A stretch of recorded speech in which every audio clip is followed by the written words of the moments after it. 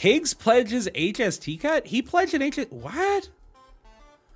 A re-elected PCNB government will lower the HST from 15% to 13%. Do you want to make life more affordable? Vote for the PCNB candidate in your riding this election.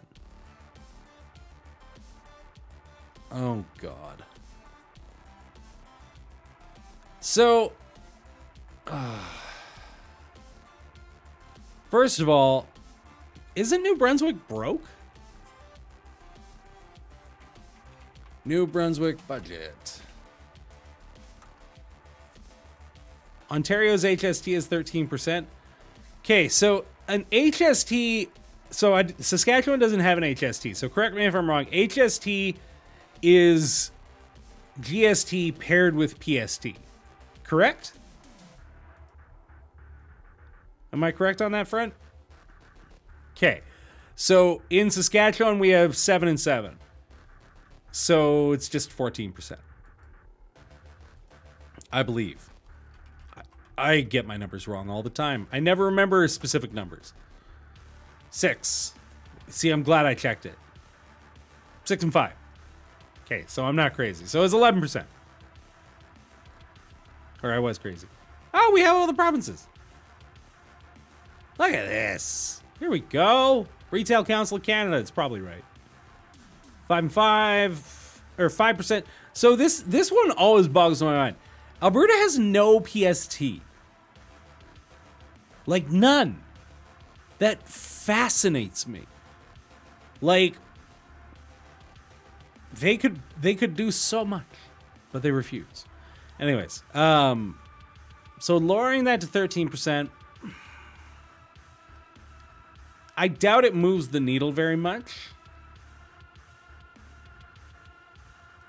Main estimates. Here's what we want. Give me the numbers.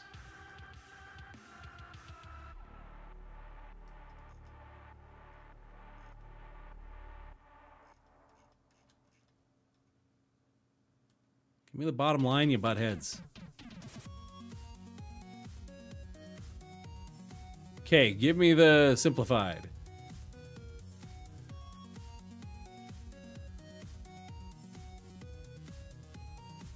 Care about the budget, blah, blah, blah. I want to know if you had a deficit or a surplus, you butts.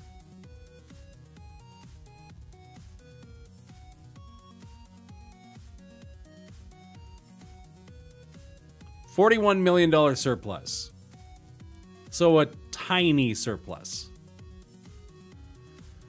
Okay, so you're cutting a significant amount of revenue. Where's it going to come from, Blaine? Well, and so whenever a government makes a claim like this, this is always the question. You are already the government. You are the current maximum level of government. Why aren't you already doing it?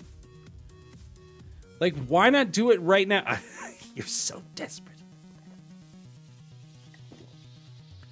Well, and Pierre Zabob's got it exactly right. A surplus, but we got to go to Quebec City or Halifax for proper health care. There's your problem. What was cut to create the surplus? What's going to be cut to pay for the GST or the HST cut? But also, it's also really important to bear in mind that the government's relation to debt isn't quite as simple as like a credit card, right? A surplus means that the government is withdrawing money from the economy. Yeah, Killer Q, we talked about a little earlier. It's very sad. Um, but yeah, a surplus means that the government is withdrawing money from the economy to cover its own debts. That's what a surplus is.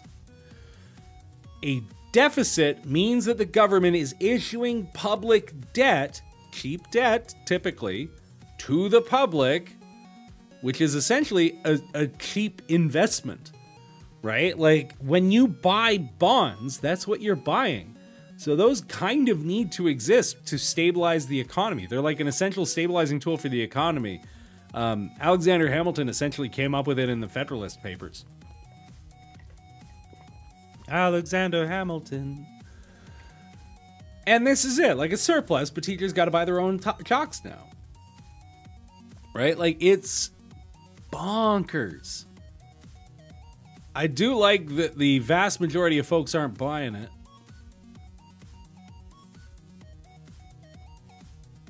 Right? And this is it. Like whether you agree with monetary modern monetary theory or not, people who think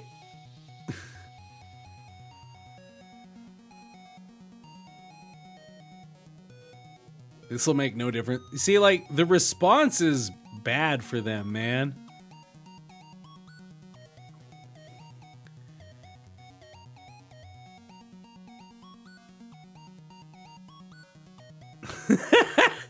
so yeah, in twenty in October of 2023, Blaine Higgs was forced to explain Friday why he's not rushing to implement new measures to help New Brunswickers cope with inflation after saying Thursday he was holding up because of a potential election. Yeah, it's just so transparently vote buying. Like, come on, Blaine Higgs. If you're going to try to get people to vote for you, do it with real ideas instead of just buy, bribing them with their own money. Do better.